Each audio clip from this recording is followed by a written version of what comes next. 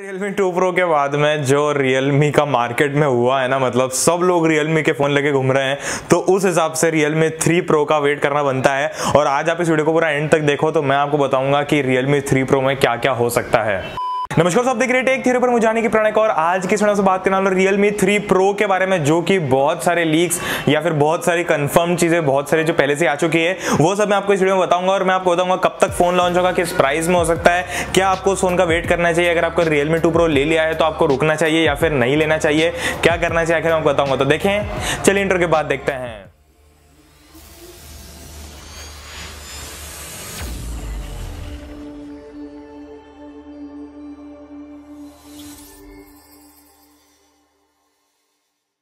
Video start करने से पहले अगर आपने अब तक चैनल को सब्सक्राइब नहीं किया, मेरा भाई तो नीचे लाल कलर का बटन है, उसको क्लिक करके चैनल को सब्सक्राइब कर लीजिए। पास में जो घंटे का बटन है, उसको भी दबा दीजिए ताकि आपको नोटिफिकेशन मिल जाए, जैसे मैं कोई नया क्वालिटी टेक वीडियो डालता हूँ। अब यहाँ पर अगर हम बात करते हैं रियलमी टू प्रो की तो भाई जो मार्केट में उसने आग लगाई, वो बिल्कुल कमाल की है। अब ज़्यादा बात फालतू की नहीं करेंगे डायरेक्टली पॉइंट पे आएँगे। तो हम आते रियलमी थ्री प्रो पे कि कब तक आएगा, कैसा फ़ोन है और कहाँ से आएगा।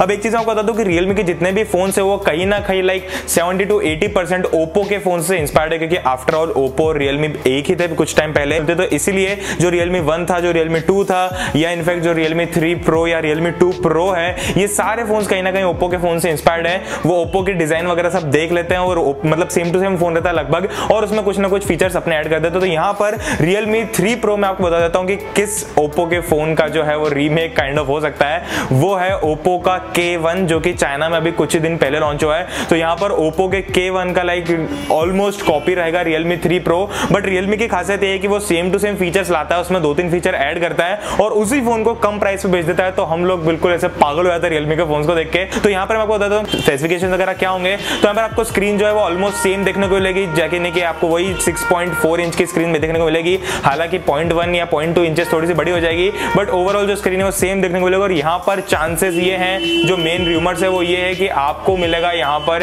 एक सुपर एमोलेड डिस्प्ले मतलब भाई, आप सोचो आपको इतने बजट में सुपर एमोलेड डिस्प्ले मिल जाए तो क्या हो जाए? या सुपर एमोलेड नहीं तो एटलीस्ट एमोलेड डिस्प्ले तो होगा ही होगा। या वही एक ही बात है मतलब कंपनीज़ अपना अपना नाम लगा के आगे जोड़ देते बाकी होता आफ्टर ऑल वही है कि आपको एक ओलेड डिस्प्ले देखने को मिलेगा। अब ओलेड डिस्प्ले की खासियत ये होती है कि वहाँ पर आप इन डिस्प्ले फिंगरप्रिंट स्कैनर लगा सकते हो। तो क्या इस फ़ोन में आपको इन डिस्प्ले फिंगरप्रिंट स्कैनर देखने को मिलेगा? जी हाँ आपको मिल सकता है एक इन डिस्प्ले फिंगरप्रिंट स्कैनर क्योंकि ओप्पो के के में भी आपको इन डिस्प्ले फिंगरप्रिंट स्कैनर देखने को मिलता है। बाकी सारी चीज़ें सेम रहेगी, आपको वही माइक्रो पोर्ट देखने को मिलेगा यूएसबी टाइप सी नहीं आएगा।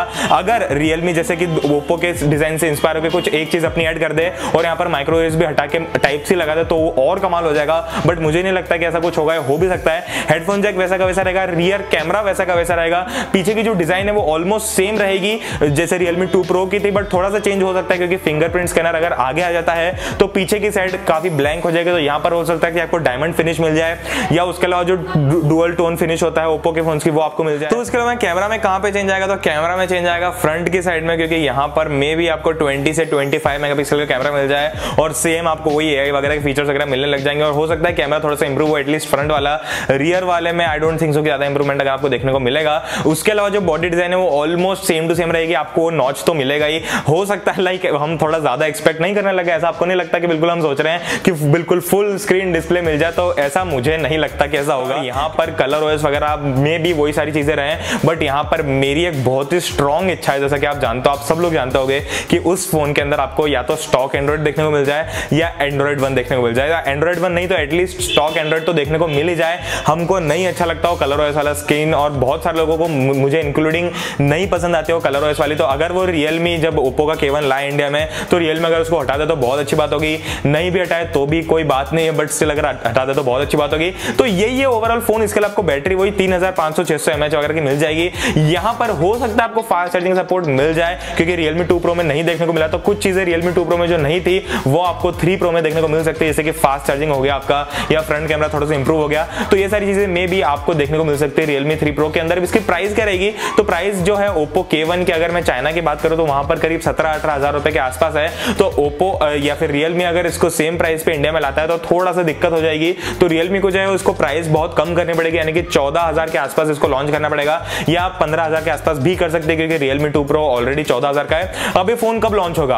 अब देखिए, जो रियलमी है, उसने अनाउंस किया था कि वो एक और लॉन्च इवेंट करेंगे इसी साल के अंदर, एक और बार। यानी कि प्रोबेबली आपको नवंबर, दिसंबर में एक और लॉन्च इवेंट देखने को मिलेगा। बट यहाँ पर मैं ऐसा एक्सपेक्ट कर रहा हूँ कि आपको इस इवेंट में नहीं देखने को मिला रियलमी थ्री प्रो क्योंकि अगर इस इवेंट में देखने को मिला तो बात तो अच्छी होगी डेफिनेटली बट देन अगेन वो शॉमी वाले काम हो जाएँगे कि अगर आपने एक फ़ोन खरीदा शॉमी का, और अगले हफ़्ते फिर से नया फ़ोन लॉन्च हो गया। फिर आपने खरीदा, फिर नया फ़ोन लॉन्च हो गया। तो अगर ऐसा करने लग गए तो डेफिनेटली रियलमी को थोड़ा सा सफ़र करना पड़ेगा। क्योंकि मार्केट थोड़ा सा कम हो जाएगा रियलमी का। जैसे शॉमी का धीरे धीरे धीरे कम हो रहा है इसी कारण से क्योंकि हम लोग जो है शॉमी का नया फ़ोन लेते हैं और अगले टाइम बाद दो, दो तीन दिन बाद या दो एक हफ़्ते बाद वापस से नया फ़ोन लॉन्च होता है। तो अगर यहाँ पर ऐसा होता है तो जिन लोगों ने ऑलरेडी रियलमी टू प्रो लिया हुआ है उनको बड़ा दुख होगा। तो प्रोबेबली इस लॉन्च में नहीं करे तो अच्छा रहेगा कर दे तो भी अच्छी बात है। बट आप मुझे नीचे कमेंट्स में बताओ कि आपको क्या लगता है कि रियलमी को ये नया फ़ोन कब लॉन्च करना चाहिए? तो बस यार यही था रियलमी थ्री प्रो आप मुझे नीचे कमेंट्स में बताना कि आपको ये फ़ोन कैसा लगता है। और रियलमी टू प्रो की अनबॉक्सिंग मैंने कर दी और बहुत सारे वीडियो उस पर आने वाले हैं। तो बस अभी की है मुझे उम्मीद है वीडियो पसंद आएगा।